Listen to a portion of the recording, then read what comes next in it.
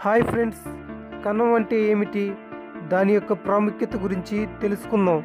మన కంటికి కూడా ఆగపడని ఈ సెల్స్ ఒక మీటర్లో మిలియన్ల రెట్లు చిన్నదిగా ఉంటుంది. తల్లి గర్భంలో మనిషి పుట్టుగా జైగట్ అనే ఇసుకురేణువంత కణంతో మొదలయ్యి శిశువుగా మారుతుంది.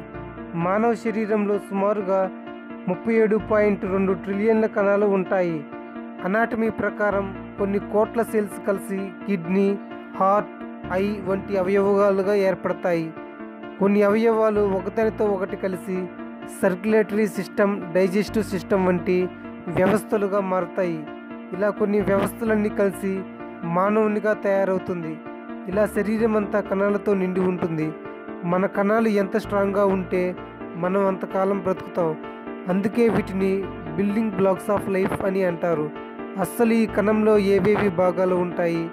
ఈ కణంలో DNA nucleus mitochondria cytoplasm lysosomes endoplasmic reticulum Golgi apparatus ribosome చివరిగా సెల్ మెంబ్రెన్.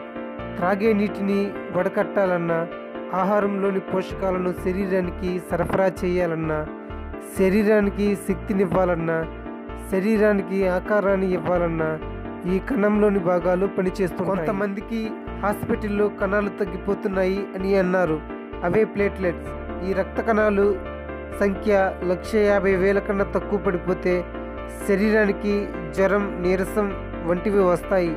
అస్సలు ఈ కణం దేనితో ఏర్పడుతుంది?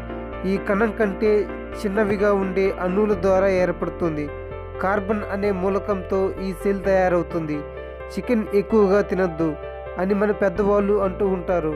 ప్రస్తుత కాలంలో బ్రాయిలర్ కోడి బాగా పెరగటానికి ప్లంపింగ్ అనే పద్ధతి ద్వారా కణాలు పెరిగే ఇంజెక్షన్ చేయటం వల్ల కోళ్ళు ఎక్కువగా మాంసం ఇస్తున్నాయి.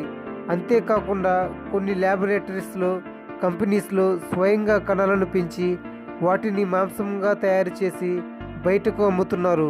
ఇటువంటివి తినటం వల్ల మనకు carbohydrates lipids proteins nucleic acids వంటివి ఆహారంలో ఎక్కువ తీసుకోవటం వల్ల సెల్ అనేది ఆరోగ్యంగా ఉంటుంది. కానీ ఎక్కువగా ప్రోటీన్ తీసుకుంటే క్యాన్సర్ వస్తుంది. మామూలుగా ప్రోటీన్స్ అనేవి శరీరానికి కొంచెం మాత్రమే అవసరం ఉంటుంది.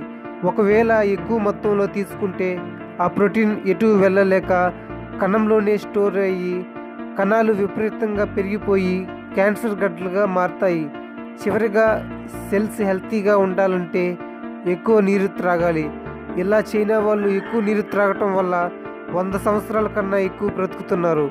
Thank you for more videos subscribe to Telugu university YouTube channel